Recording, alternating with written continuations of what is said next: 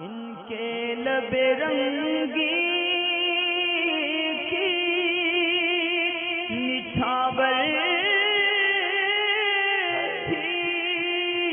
कि जिसने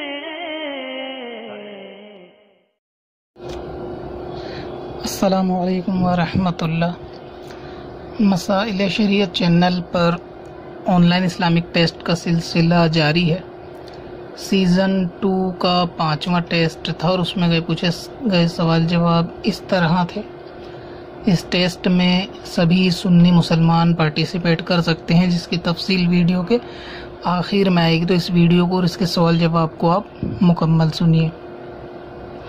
पाँचवें टेस्ट में पूछे गए जो सवाल थे, उनमें से पहला सवाल ये था, यानी अक्सर इसमें सवाल खाने पीने के जूठे के हुक्म से था कि किसका झूठा पाक है, किसका नापाक। पहला सवाल था, नापाक आदमी और हैज़ वाली औरत का झूठा खाना पीना कैसा? तो इसका सही जवाब था, पाक है। यानी नापाक आदमी हो या कोई नापाक औरत हो, अगर वो कोई पानी पिए तो उसका बचा हुआ पानी, झूठा खाना और पीना दोनों चीज़ें पाक होती हैं। नापाक या हराम नहीं होती। अगला सवाल था कि काफिर का झूठा, यानी काफिर के झूठे का क्या हुक्म है? इसका सही जवाब था कि पाक है। यानी काफिर का झूठा भी पाक होता है। अगरचे उससे बचना चाहिए खाने पीने से। बहुत सख्त ज़रूरत हो तो अलग चीज़, वरना शरय एतबार से वो पाक होता है। अगला सवाल था, मर्द को गैर औरत और औरत को गैर मर्द का झूठा खाना पीना। बेलज़्ज़त कैसा है? यानी बग़ैर लज्जत के मर्द औरत को एक दूसरे का झूठा खाना पीना, इसका सही जवाब था, जायज़ है। यानी औरत को गैर मर्द का और मर्द को गैर औरत का।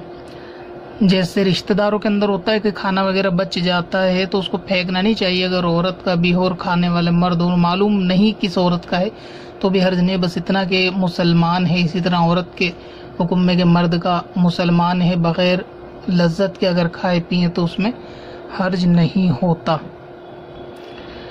अगला सवाल था कि बाशरा आलिम और पीर का झूठा औरत को खाना पीना, यानी जो मर्द है, अगर वो पीर हो तो ऐसे में औरत को खाना पीना इसका जवाब था जायज़ है।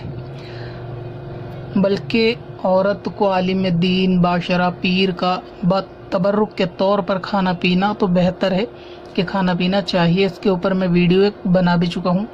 यूट्यूब पे आप आसानी से उसको सर्च करके देख सकते हैं। सिकंदर वारसी अबाउट औरत को मर्द का झूठा खाना।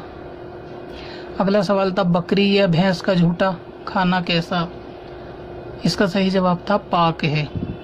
इसके ऊपर भी एक वीडियो बना चुका हूँ कि जो जानवर पाले जाते हैं, उनके झूठे पानी का क्या हुक्म है? शायद ये वीडियो वो है जिसमें बकरी पानी को झूठा करती है और उससे वज़ू होगा या नहीं होगा, उसके ताल्लुक से एक वीडियो है।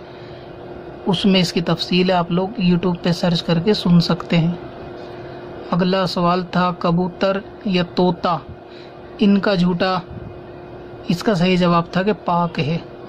यानी वो हलाल परिंदे जो घर में पाले जाते हैं, जैसे ये कबूतर और तोता तो ये अगर पानी वगैरह में चोंच डाल दें तो इनका झूठा जो है वो पाक है, वो पानी नापाक नहीं कहलाया जाएगा। अगला था बिल्ली और चूहा, इनका झूठा।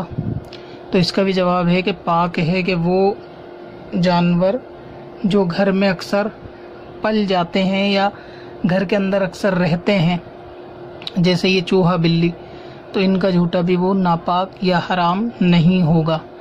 अगर कोई एहतियात के तौर बचना चाहे तो वो अलग बात है। अगला सवाल था, बकरी के झूठे पानी से वज़ू होगा?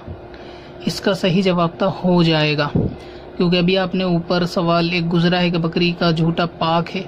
तो फिर जो पानी पाक होता है, उससे वज़ू और गसल दोनों हो जाते हैं। लिहाजा अगर बकरी का झूठा पाक है तो अगर किसी पानी में बकरी ने मुँह डाला है तो उससे वज़ू भी हो जाएगा।